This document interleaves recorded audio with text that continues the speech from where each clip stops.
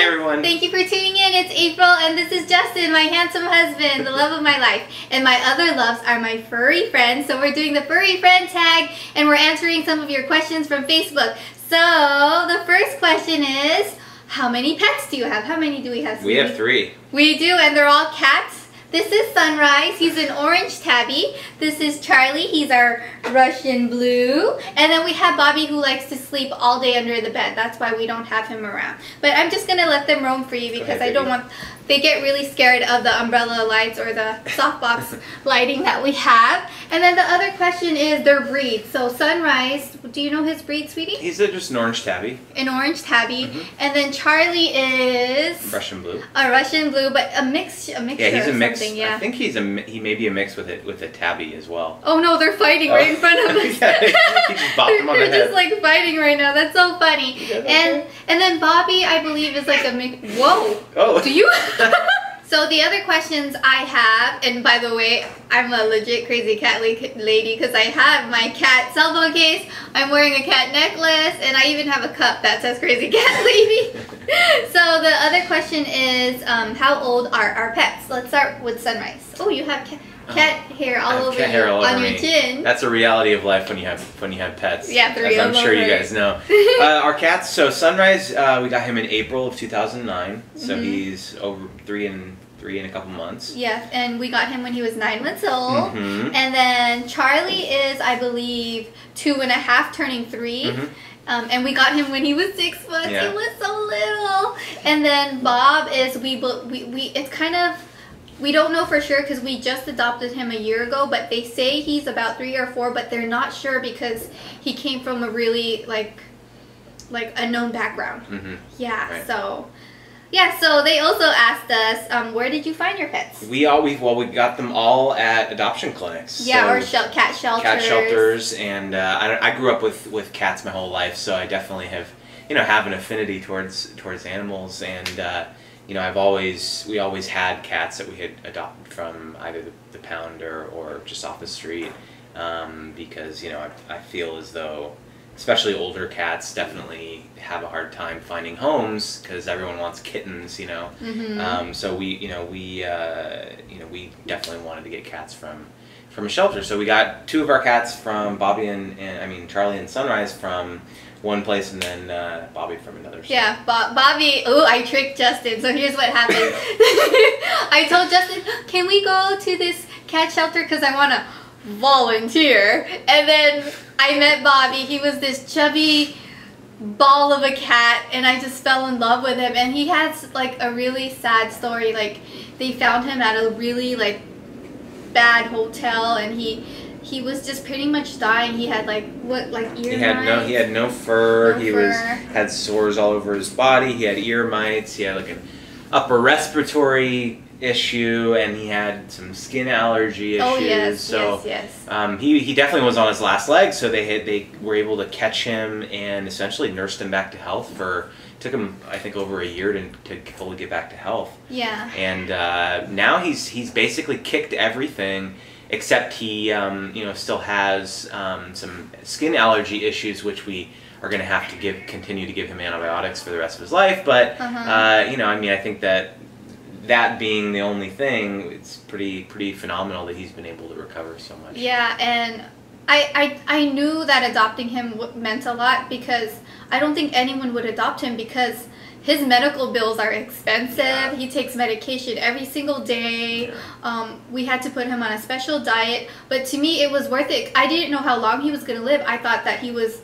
really sick, so I thought he needs to have a good life for a while at least. But I'm so glad because he's all better Mhm, now yes. every i mean we medicate him every day but like it's such it's such a joy to change a life you know your your cat friend's life yeah and also i think i really believe in shelters like adopting Yeah, from shelters like there's no need to buy a special breed Right. when you can save one at a shelter There's you so know? many cats that need homes. oh yes are our cats indoor or outdoor Definitely indoor. I, I think it's really important um, for your cats to be indoor. Do I have cat hair all over yes me? you do Sunrise is shedding right now, so when I hold him, his hair just goes all over me. yeah Um, I, I don't know. I think it's really important to have indoor cats because, uh, especially if you live in areas where there's uh, other predators or like I don't know necessarily predators, but like raccoons and uh, wild animals, like especially if you live in mountainous regions like mountain lions and bears and stuff like that.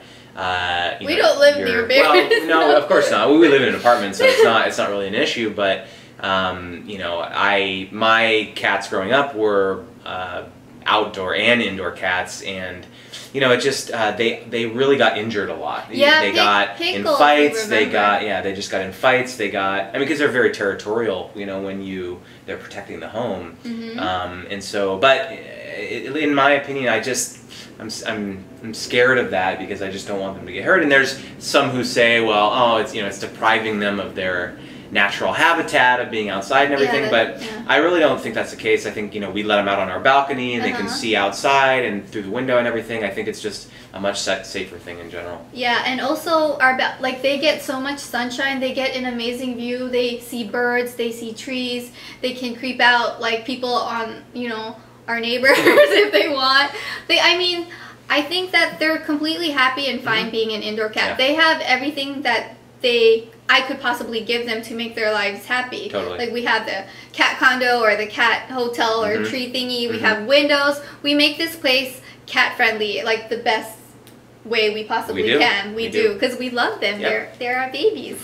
um, well, they asked us what kind of food do they like to eat. Let's go get it. Let me go, Go get get it. it, Yeah. yeah. So go ahead and talk about it. Uh, so we so we feed them. Um, we've tried a couple different foods over the years, but the one that we really like, um, we feed them both wet and dry. So in the morning we do, uh, you know, just wet food, wet food, and then at night we do dry food. So we do um, wellness, uh, wet and dry. Um, it's wellness is the brand, and uh, it's they they love that brand. You know, it's definitely one of the the better ones out there in terms of it being uh, organic, I think, and you know have uh, good ingredients in it and everything, and not uh, processed as much as some of the other uh, more mainstream brands like Purina and and that kind of thing. Yeah.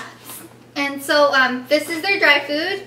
And the reason why we, we buy wellness is we, we heard about it through um, your mom, Yeah. my mother-in-law, and um, we just really care about the health of our cat. It's better to take care of them now and to make them healthy their whole life than to you know have to take them to the vet often because of their, of their bad health. You know, and it's just it's just good. And also, my kitties love greenies. I call it cat crack because they love them. So I get um, they like the chicken, the salmon. They pretty much like any type, and I and they finally made the jumbo sizes because back then they only made like the smaller one, and now this is jumbo for breakfast. Or we feed them two times a day. I do Mhm. give them some lunch sometimes. Um, they have um, wet food in the morning, and then at night they have dry food. So Mhm. at night they get to graze on their dry food every single.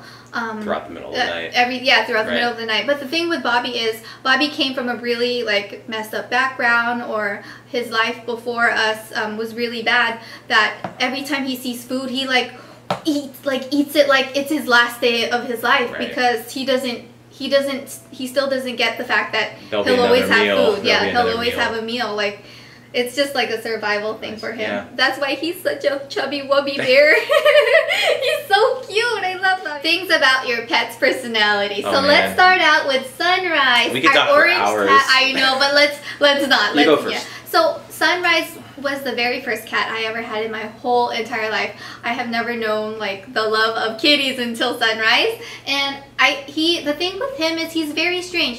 He doesn't like to be held. Like if you grab him and carry him, he doesn't. He Mhm. he's like no, like he goes like stiff like a board. Like he'll get stiff, he'll start meowing and howling, but he's like the biggest lap cat, He which is. is very strange because if I pat like this, he'll come and run and sit on my lap, but it's on his terms. Yeah. And he sleeps with us. He He, sleeps sleeps, like us. Right on my head or right in, Right in between, between our us. heads. He's just But he and when and when you pet him or brush him, he oh, just like yeah, he loves oh, it. he just you know he collapses.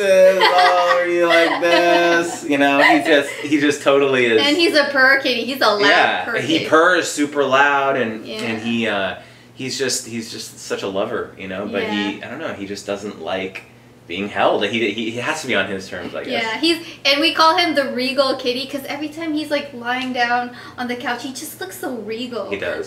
He does. He does. he does. How about Charlie? Oh my goodness. Where to begin? Charlie is uh, he. First of all, I like to I like to think of it in terms of that. I I was the one who picked Sunrise. Yeah. right? And I picked Charlie. Sun- she picked Charlie, and Sunrise is very much like her, and I mean, sorry, Sunrise No. is very much like me. Yeah, like and Charlie is very much like her. yeah. Yeah, spunky. funky all over the place. Charlie is just like he. I don't even know how to describe it. I think you've you've probably seen Charlie in other videos. He just he, he has to know what's going on in every single room. Like if if we have guests over, he walks up, walks right up to him, sniffs them.